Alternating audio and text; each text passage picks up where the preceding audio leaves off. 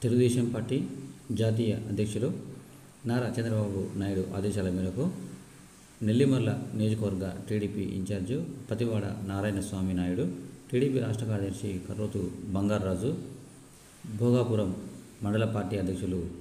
కర్రోతు సత్యనారాయణ ఆధ్వర్యంలో కేంద్ర ప్రభుత్వం అందిస్తున్న పిఎం జీకేఏవై పథకం కింద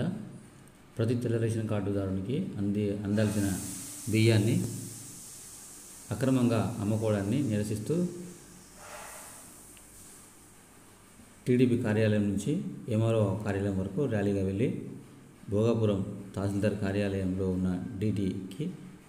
వినతిపత్రాన్ని అందజేశారు. ఈ కార్యక్రమంలో మాజీ సిహెచ్సి చైర్మన్ ప్రతివాడ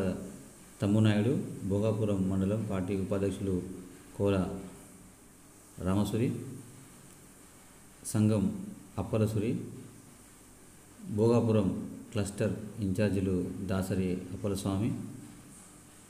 పిడుగు తోటరావు ముంజేరు ఎంపీడీసీ పిడుగు వెంకట సత్యం రామచంద్రపేట ఎంపీడీసీ దువ్వు కొత్తయ్య కాంచేరు మాజీ సర్పంచ్ మైలపల్లి ఎల్లాజీ పార్లమెంటు కార్యనిర్వాహక కార్యదర్శి కర్రోతు రాజు పోలిపల్లి గ్రామ టీడీపీ అధ్యక్షులు చింతపల్లి రామకృష్ణ మండల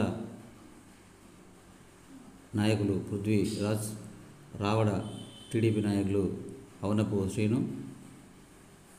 అప్పురు గుప్త సుధీర్ కౌలవాడ బూతు కన్వీనర్ పాలు ముంజేరు టీడీపీ నాయకులు చందు మధు పాలపర్తి లక్ష్మణ్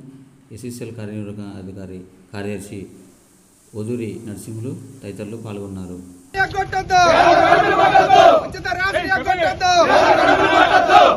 రాజనీయ కొట్టద్దు.